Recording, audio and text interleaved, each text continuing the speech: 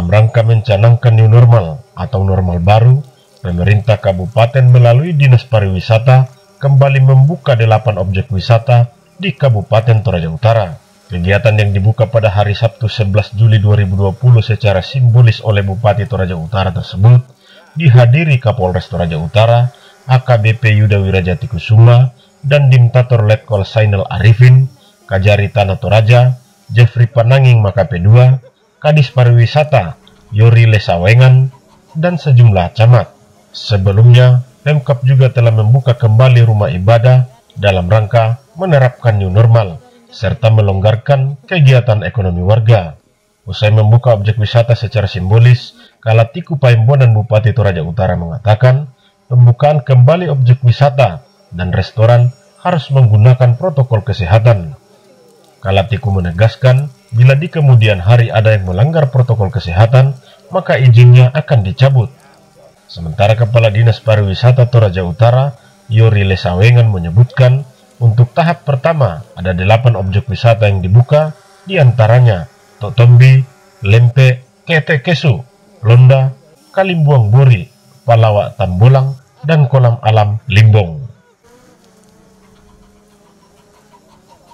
Setelah penerapan new normal ini kan uh, akan dibuka objek wisata di Kabupaten Toraja Utara. Nah, dalam penerapannya sendiri Pak seperti apa? Ya, dalam rangka penama, penerapan new normal di Kabupaten Toraja Utara dapat disampaikan bahwa dengan uh, kunjungan uh, Muspida ya uh, Forkopinda Kabupaten Toraja Utara uh, resmilah sudah bahwa uh, giliran objek-objek wisata ada delapan objek wisata yang dibuka pada saat ini.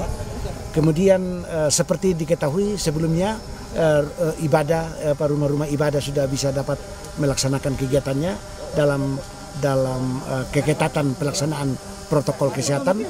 Uh, kemudian juga kegiatan-kegiatan ekonomi pasar yang sudah di, di, dilonggarkan juga dibuka eh, mulai dari pagi sampai jam 4 tadinya kemudian menjadi jam 6 sore kemudian juga uh, kunjungan seperti juga menandai bahwa uh, seluruh kegiatan-kegiatan restoran rumah makan itu juga sudah di, diizinkan untuk mulai dibuka saat ini dengan catatan bahwa seluruh rumah makan, restoran atau yang biasa disebut kafe itu, kafe-kafe restoran, kafe uh, uh, rumah makan itu uh, harus uh, menggunakan protokol kesehatan.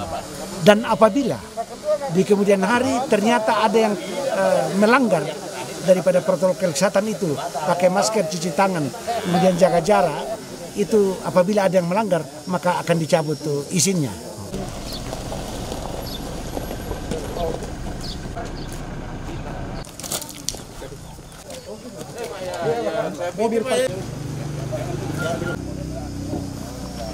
Ini dalam uh, pembukaan ini ada berapa objek wisata yang akan dibuka? Ya, terima kasih. Jadi hari ini pembukaan objek wisata tahap pertama. Jadi untuk tahap pertama ini ada delapan objek wisata yang uh, kita sudah buka secara resmi hari ini hari Sabtu tanggal 11 Juli 2020 yaitu objek wisata Tok Tombi, hmm.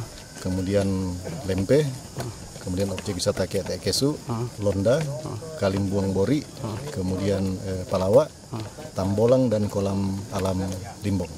Ini untuk tahap pertama.